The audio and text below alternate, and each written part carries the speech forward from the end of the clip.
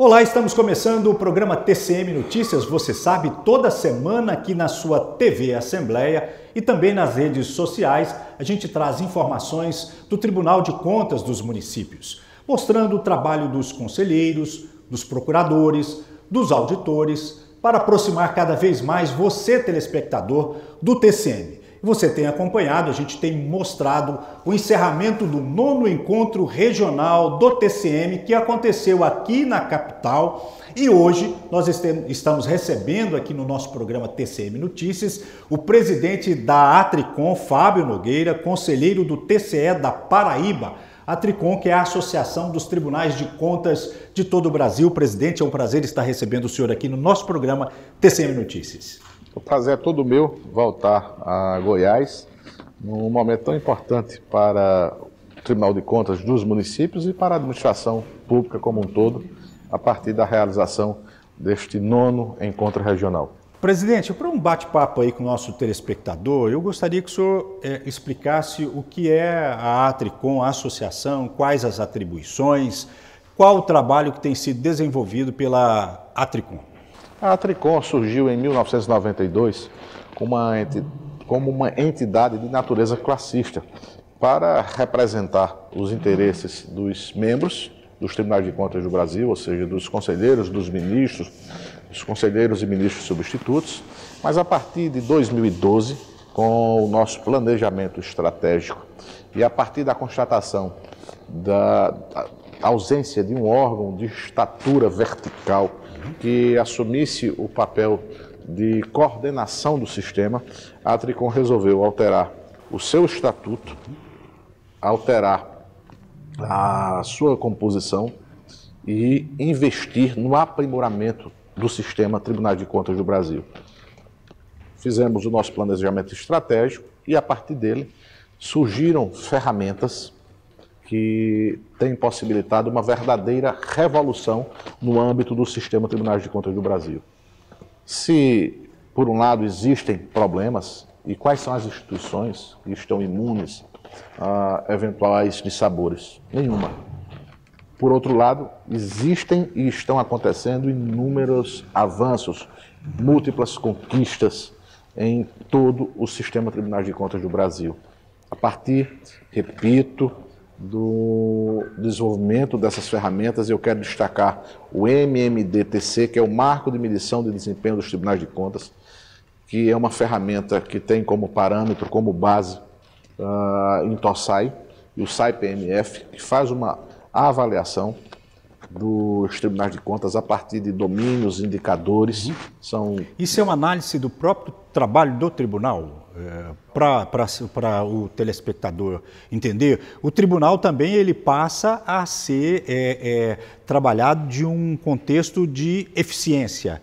É, é, é isso para o telespectador é. MMD, podemos dizer assim? O MMD é uma ferramenta que, primeiro, buscou um diagnóstico, uma radiografia, uma fotografia dos tribunais de contas do Brasil, para que pudéssemos levantar as fraquezas, certo. ou seja, os pontos frágeis e os pontos fortes e a partir daí uhum. tentar melhorar, buscar o autoaprimoramento. Então é uma avaliação de pares que é realizada em todos os 33 tribunais de contas do Brasil e registre-se que os tribunais aderiram de forma espontânea, de forma voluntária, porque a Tricom não detém uma força coercitiva. E por que houve essa adesão? Pela percepção de que é preciso melhorar a cada instante, a cada dia. Se nós exigimos dos gestores públicos um grau de excelência, nós precisamos dar exemplos. E os exemplos, eles precisam, repito, nascer na própria casa. Já se disse que mudança é porta que se abre por dentro. Então, os tribunais de contas têm é, realizado esse desafio, eu diria, esse imenso desafio, cortando na própria carne.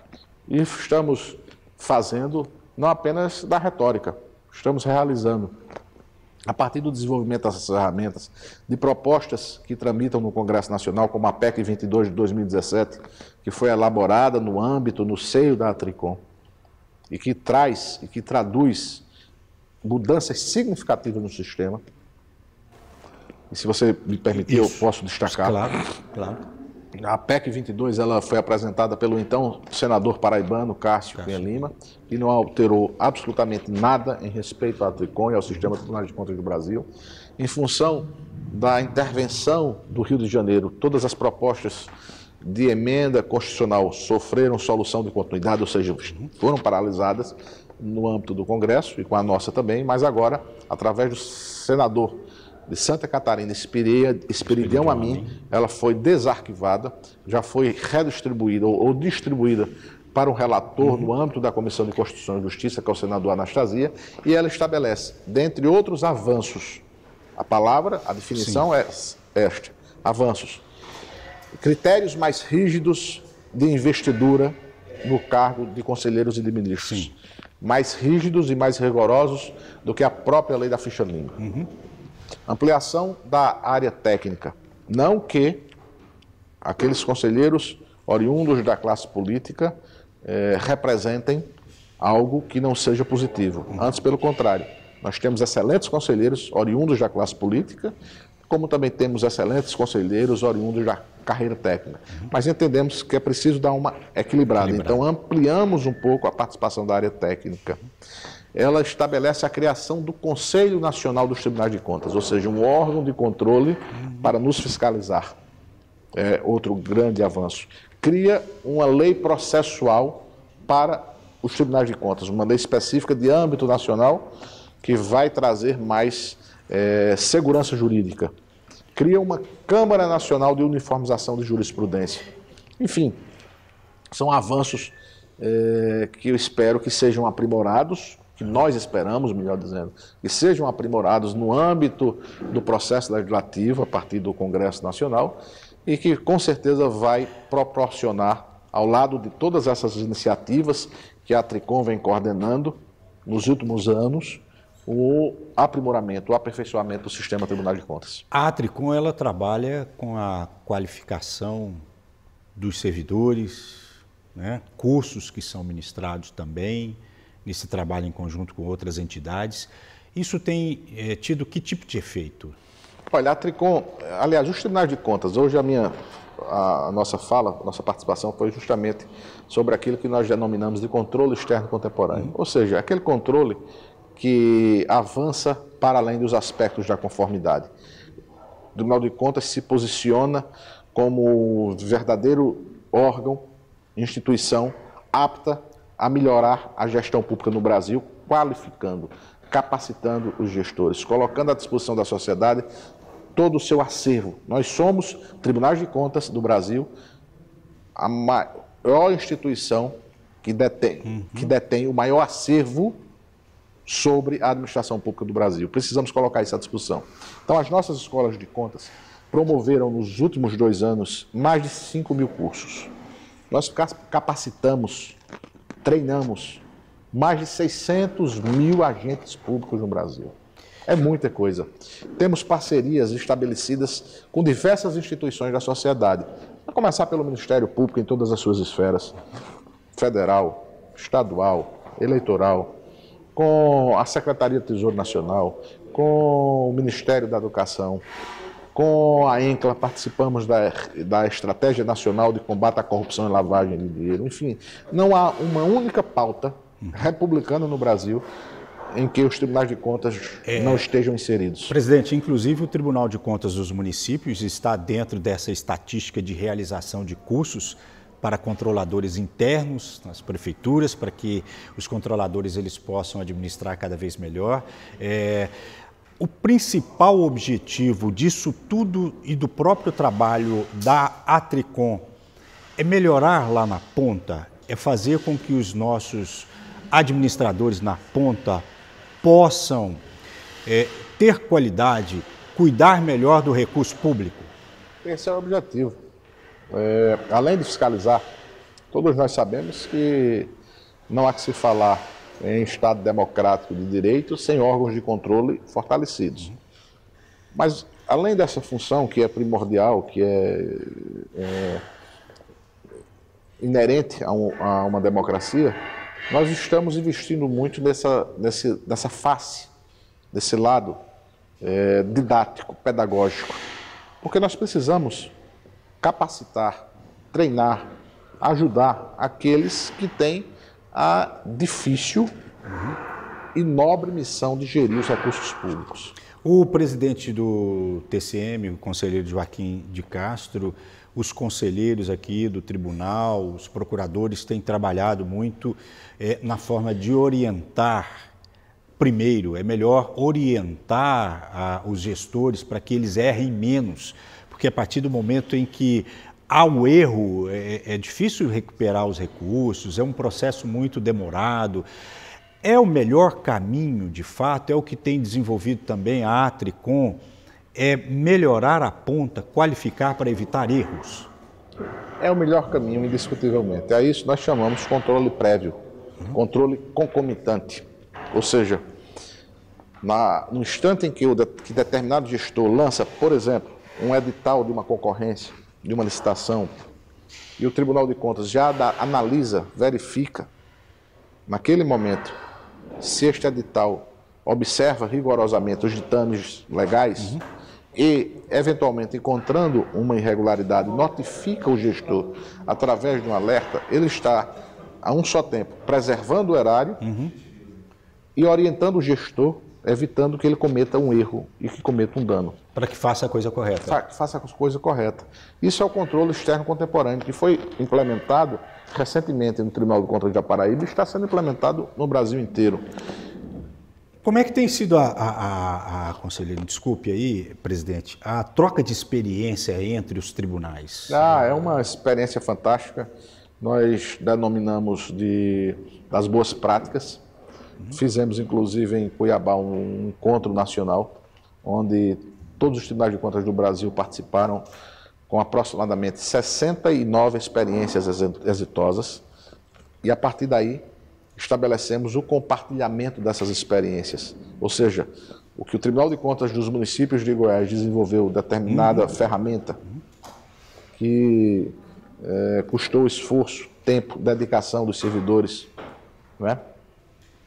pode ser disponibilizado para o Tribunal de Contas claro. do Acre. Claro. E vice-versa. Então, o compartilhamento das boas práticas é uma das mais exitosas experiências é, nos últimos anos. E todos os tribunais, todos, têm desenvolvido ferramentas fantásticas, principalmente aquelas que dizem respeito ao fomento, ao estímulo do controle social. E o que é o controle social? É o controle exercido pelo cidadão lá na ponta, na sua cidade, aonde ele reside, aonde ele mora, aonde ele vivencia, participa, presencia é, o dia a dia da administração pública.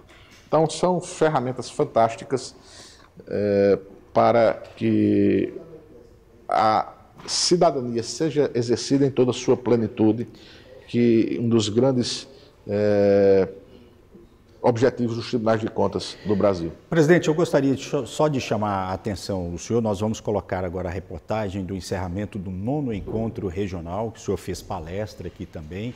É, e nós vamos mostrar agora a Procuradora-Geral da República, Raquel Dodge, esteve aqui.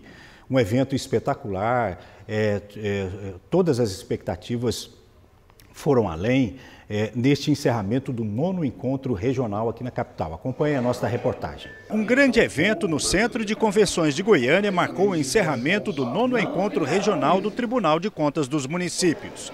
De março a maio deste ano, o TCM realizou seminários no interior para qualificar as gestões e tirar dúvidas dos prefeitos, vereadores, secretários e servidores administrativos. Na capital, o evento contou com palestras da Procuradora-Geral da República, Raquel Dodge, do presidente da Atricom, conselheiro Fábio Nogueira, do TCE da Paraíba, e do psicólogo e escritor Rossando Klingen. O encontro foi prestigiado pelo governador Ronaldo Caiado, o prefeito de Goiânia, Iris Ezende, o presidente do IRB, Instituto Rui Barbosa, Ivan Bonilha, conselheiros, procuradores, entre outras autoridades. O presidente do TCM, Joaquim de Castro, destacou a relevância dos encontros regionais. Olha, altamente positivo, tendo em vista que o comparecimento das pessoas foi bastante satisfatório. E isso demonstra nas duas coisas, o interesse que as pessoas estão tendo é, em se capacitar e, por outro lado, também a credibilidade que o tribunal é, goza junto com a, com, com a, comunidade, principalmente com os gestores. Então isso é muito importante, né, essa, é, esse, esse estabelecimento de uma relação de confiança entre as partes. Então é importante ter eficiência na aplicação dos recursos públicos. O que a gente queria era trazer um diálogo sobre os novos caminhos para gerar uma administração pública eficiente. Esse encontro é uma demonstração de que o Tribunal de Contas dos Municípios ele sempre está estudando, pesquisando e procurando melhor para orientar os prefeitos e prefeitas. De forma que eu venho para manifestar, em nome da Prefeitura de Goiânia, nosso reconhecimento à responsabilidade com que essa Corte de Contas Municipal viu, tem se comportado. Este evento, o Tribunal de Contas dos Municípios, ele é extremamente didático, no sentido também de dar consciência a todas as exigências da legislação brasileira e a cada vez mais fazer com que a transparência seja o padrão único em toda a gestão pública. Durante a palestra, a Procuradora-Geral da República, Raquel Dodge, falou sobre Ministério Público e tribunais de contas no combate à corrupção. Os tribunais de contas em todo o país e aqui e no estado de Goiás também têm cumprido um papel muito relevante contra a corrupção e pela eficiência na gestão pública. A responsabilidade dos tribunais é enorme é, pelo zelo no cumprimento dos contratos, no bom uso da coisa pública e isso reverte em benefício da população. Fábio Nogueira, presidente da Atricom, destacou a importância do controle externo contemporâneo. Esta iniciativa do Tribunal de Contas dos municípios de Goiás vem ao encontro daquilo que nós estamos defendendo de há muito, não só no âmbito da Tricom, mas no seio de todos os tribunais de contas do Brasil, que é exercitar cada vez mais a nossa função pedagógica, didática, ou seja, colocar toda a nossa estrutura, a nossa expertise à disposição do gestor público. Rossando Klinger fez palestras sobre a consciência coletiva no serviço público, entre outros temas. Tribunal de Contas, órgãos reguladores, transparência, compliance na medida que a gente vê que a população procura mais e mais, a gente sente que de fato as pessoas estão atentas a isso e fica muito feliz que o Tribunal do Constitucional do Estado de Goiás tem mais essa iniciativa, porque afinal de contas, quanto mais a gente vê um país onde municípios, entes estaduais e a federação de modo geral tem a transparência ética, a gente vai ter um combate à corrupção e vai ter um desenvolvimento mais sério no país, que é o que a gente deseja finalmente. Muito bem, você acompanhou esta reportagem do encerramento do nono encontro regional do Tribunal de Contas dos Municípios. E você sabe, telespectador, nós estamos conversando com Fábio Nogueira, conselheiro do TCE da Paraíba, presidente da Atricom, Associação dos Tribunais de Contas de todo o país. Conselheiro, para encerrar, qual é uma orientação para o nosso telespectador, para o cidadão? É, é preciso que ele acompanhe as administrações na ponta, aquele que está nos assistindo neste momento, que ajude a fiscalizar o município, a, o, o, Estado, a União, a participação é fundamental do cidadão? É de fundamental importância. Aliás, eu disse há poucos instantes e volto a afirmar não há controle mais eficiente, mais eficaz, por mais que os tribunais de contas, os órgãos de controle invistam no aperfeiçoamento, na capacitação, no desenvolvimento de ferramentas, do que o controle social. E o que é o controle social? É a participação do cidadão. E hoje a tecnologia, ela oferece, permite, isso. permite através de aplicativos, de redes, de grupos, é uma mudança radical na forma de se relacionar, no que diz respeito à comunicação, à interação das pessoas. Então, todo esse, esse é, é, esses instrumentos estão colocados à disposição do cidadão para que ele possa, de fato e de direito, acompanhar efetivamente o dia a dia da administração pública, captando esse sentimento de mudanças que a sociedade está a exigir dos homens públicos brasileiros. Não é possível ah, que haja mais é, complacência, digamos assim, com desmandos de natureza administrativa, com atos de corrupção com desvios de recursos públicos. Isso tudo pode ser combatido, né, pode ser minimizado a partir da participação do cidadão na fiscalização dos recursos, a partir do fortalecimento das instituições. Uhum. E a procuradora, Sim. a doutora Raquel Dodge, foi muito feliz quando disse que a parceria entre o Ministério Público e os tribunais de contas é um remédio é, eficiente, uhum. eficaz no combate à corrupção. Né? O doutor Rossandro Klinger, o professor Rossandro Klinger, meu querido amigo, é, conterrâneo da minha cidade de Campina Grande, né, ressaltou o papel e a importância das instituições. Não há que se falar em Estado forte, em país desenvolvido, se as instituições não funcionam a contento. E é, esse é o esforço que nós estamos fazendo.